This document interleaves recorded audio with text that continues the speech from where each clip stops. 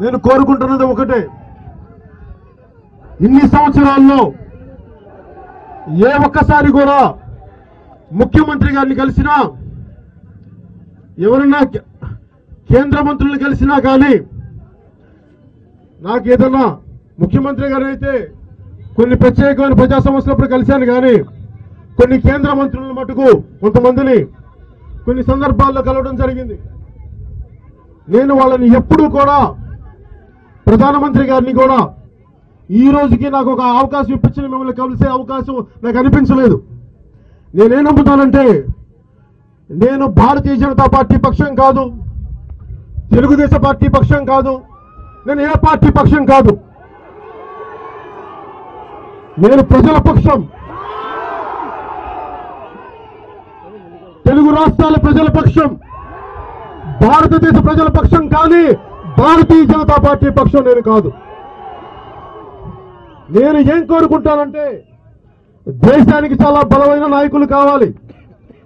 ఒక దేహానికి ఒక రక్తనాళం సరిపోదు. ఒక దేశానికి ఒక నది చాలదని ఒక మహాకవి అన్నట్టుగా ఈ దేశ సమస్యలు పరిష్కరించాలంటే ఒక పార్టీ సరిపోదు ఒక నాయకుడు సరిపోడు. అనేక పార్టీలు కావాలి అనేక నాయకులు కావాలి.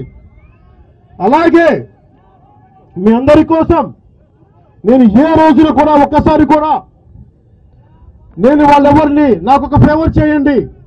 నేను చెప్తున్న వ్యక్తికి ఫలానా ఫేవర్ చేయండి నేను ఎవరిని అడగలేదు. దానికి కారణం నా నైతిక బలం కోల్పోకూడదు నేను ఒక్క క్షణం కూడా అడగలేదు.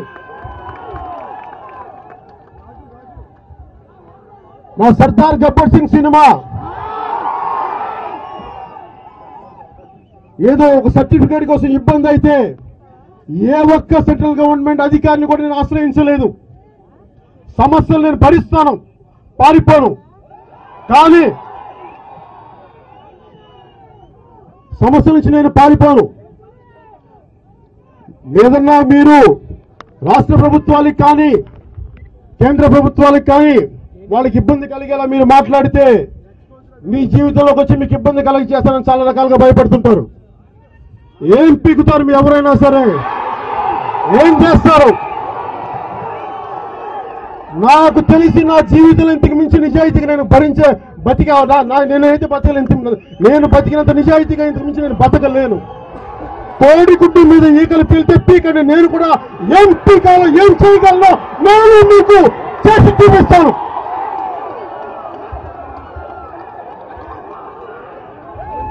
నాకు భయాలు లేవు. ధైర్యం ఉంది. ఒక ప్రాణం పోతే అది మీకోసం పోగొట్టుకుంటాను కానీ ఎవరెవరి కోసం నేను పోగొట్టుకోను? మీకోసం అవసరం అయితే జైలుకి వెళ్తాను మీకోసం అవసరం అయితే దెబ్బలు తింటాను రక్తం కార్చుకుంటాను